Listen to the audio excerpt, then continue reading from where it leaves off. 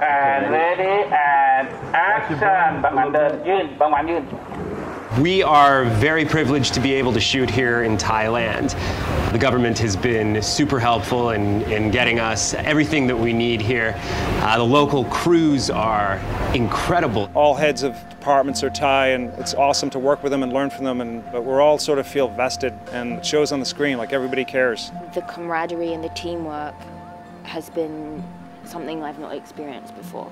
We were lucky enough to be introduced to uh, Chris Lowenstein and Oliver Ackerman, who are uh, living films, and they've spent over 25 years making movies in that region.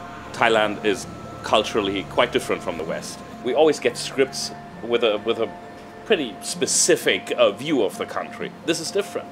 The story is about the relationship of these two guys set within Thailand, and Thailand's just a backdrop. Thailand actually plays a character in the film as well, and it's beautifully portrayed by Seth.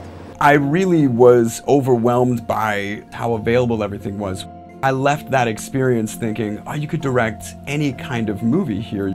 And it's been so wonderful to be able to explore such an incredible country. I don't know how many times I've looked around and have said, is this real life? It's been just a dream, an absolute dream from top to bottom.